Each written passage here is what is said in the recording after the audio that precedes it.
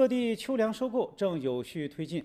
近日，福建省南安市的一个新建粮库项目开始首次装粮。这些粮食如何从田间送入粮仓，又是怎样实现智慧化管理？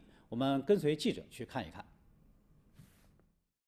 粮食的品质是储粮的第一关。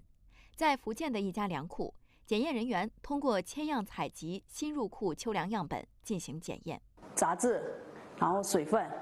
然后粗糙粒、整斤米粒，接下来就是我们要做一个脂肪酸值跟品尝评分值，卫生指标的话一定要达到三等以上，我们才可以判定合格入库。通过检验、称重和录入信息等一系列流程后，筛选合格的七点四六万吨秋粮，通过传输带从装粮车进入新建成的四栋平房仓和六栋浅员仓。据了解，新建粮仓使用了先进的绿色生态储粮技术，实现储备粮准低温储存与智能化管理。这边是两道防潮层，这两道铺下去，防止地坪潮湿，对粮食会起到保护作用。这一个是地上呢，它有开口可以通风。